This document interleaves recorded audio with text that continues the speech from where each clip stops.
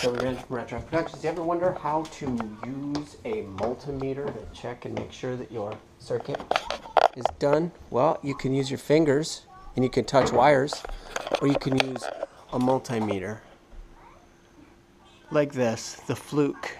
And so tell them what you're doing, what you're setting it to. Got to stick it on voltage. That's that. That voltage, Okay. but that's AC. Mm-hmm. 'cause this is Alternating current. Alternating current. Hold that. Okay. Now he's gonna stick a lead And on a power. black lead. Okay. And So you have a red and a black going to thing. He's going, he's putting the black to the ground, and then the red to power. And this is going It's nothing. To nothing. It's got 0.1, 0.05, 0.06, 0.3. We can even Now he can check that too, because we suspect that that's power as well. Because it's red, which means it's probably a secondary power. He puts it on the on there. Same thing.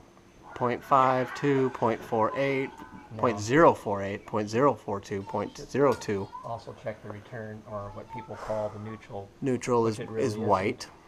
And that just returns power right back.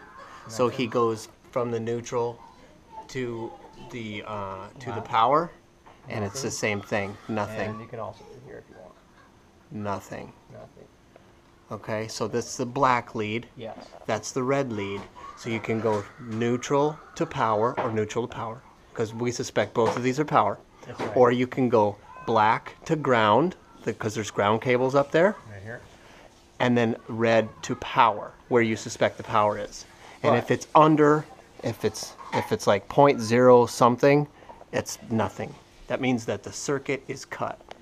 But the last thing you should do is confirm the meter is working, and do that with the circuit that you know has power.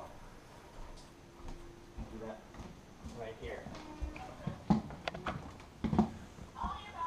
So that's, yep. See now all of a sudden it's shooting up to 121.3. So that way you know That means working. that's working big that's time. working, and that means this meter's working because it could be faulty meter. Gotta confirm it. All right. So that's another way to check if you have power or not. Yeah. Right on.